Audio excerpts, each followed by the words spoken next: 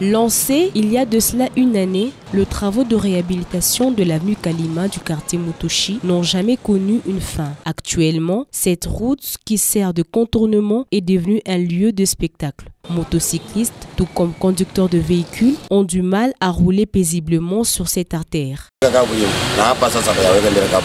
Il dit, le problème est que s'ils viennent travailler sur cette route, malheureusement, les travaux restent toujours inachevés.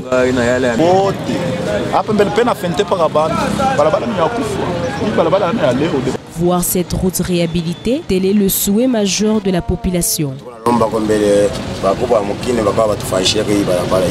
Nous demandons aux autorités de jeter un coup d'œil ici. La cause majeure, c'est le manque de caniveaux. Vu aussi l'étroitesse de cette avenue et les eaux qui proviennent de partout.